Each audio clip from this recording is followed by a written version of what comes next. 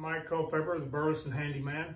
We're uh, going to make a mantel today for a fireplace.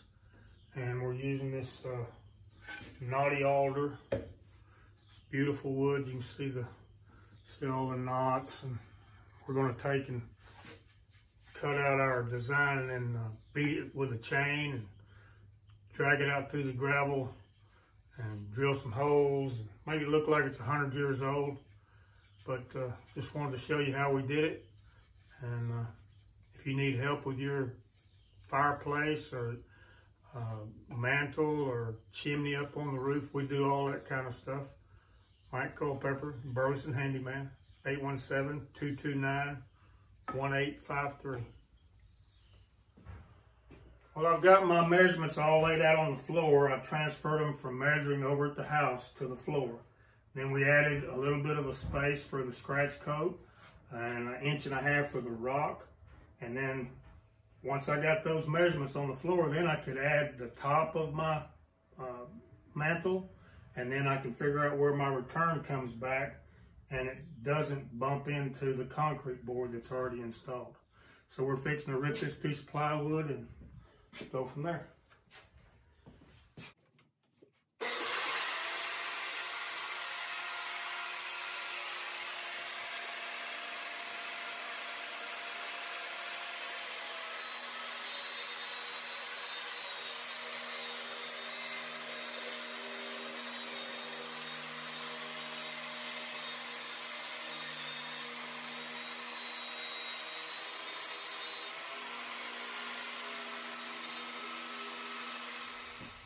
We got our plywood ripped and cut, cross cut and ripped to the size we want for the top of the mantel.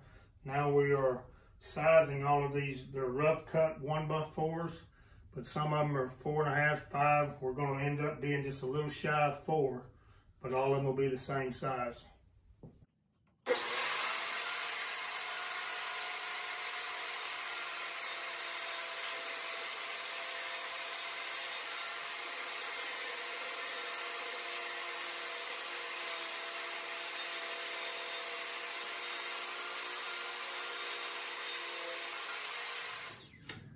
Okay, this mantel is so wide that we're, we're, putting all this together with this pocket hole, the Kreg pocket hole kit. But to get it to stand up here, you know, usually you're working with something that's just a couple of small pieces so it works great in that clamp. But right now, this is so wide because the top of that mantel's that wide. So we got to be able to put it in this little Kreg jig. So we built some spacers that hold this straight and then we're just sliding down every six inches and once we get all those done then we'll screw it into the one before.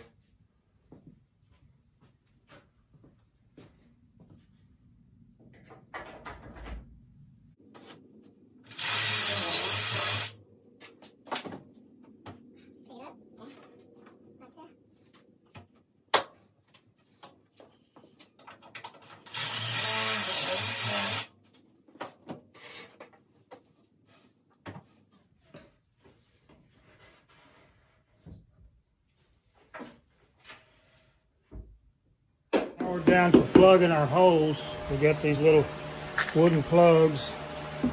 See, you just go in there with a little dab of glue. And once you get them in there, then sand them off. And then these are paint grade stuff, but I think they'll stain okay.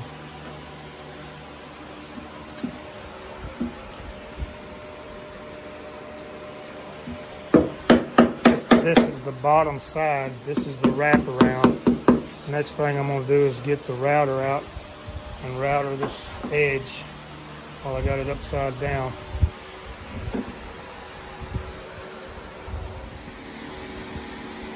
Okay, so we've taken a, a hammer and a chain, a drill and a grinder, and screws and pliers, everything we could think of to beat this up and make it look like it's 100 years old. Now it's time to put the stain on. We're doing a, uh, I think it's a dark walnut. You can see right down through here, look, get you a close-up of this. See how all the grooves are here. It just looks like it's 100 years old. You get this on and get a couple of coats of this stain on here and wipe it off.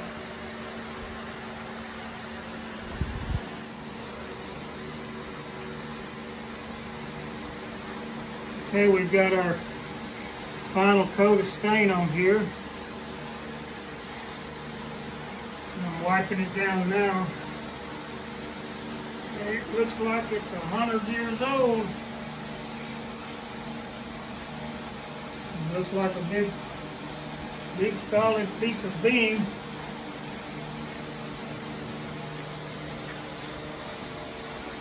Come all the way down in here. Get all these grooves and notches. Took the, the grinder with a wire wheel the grinder with a cutting wheel.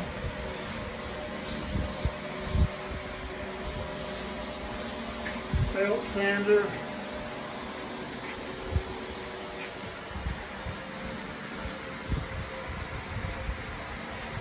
Okay.